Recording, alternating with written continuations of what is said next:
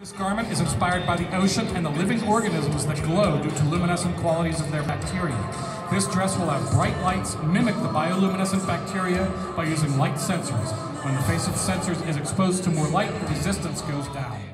Wearable technology, it's all about enabling life for better.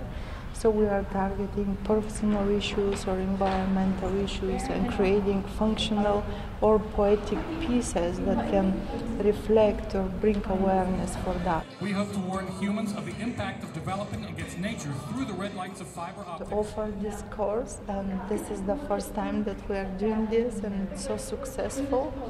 The students are behind creative. They develop very clever concepts. Sparkling LEDs will flash to you just kind of get lost in this world of what is actually possible, what can I do? Because the ideas are endless, right? But it's actually putting it down, getting the technology to work, having it be functional. So that was really cool to kind of explore and figure out and work with the engineering students to make your concept a reality.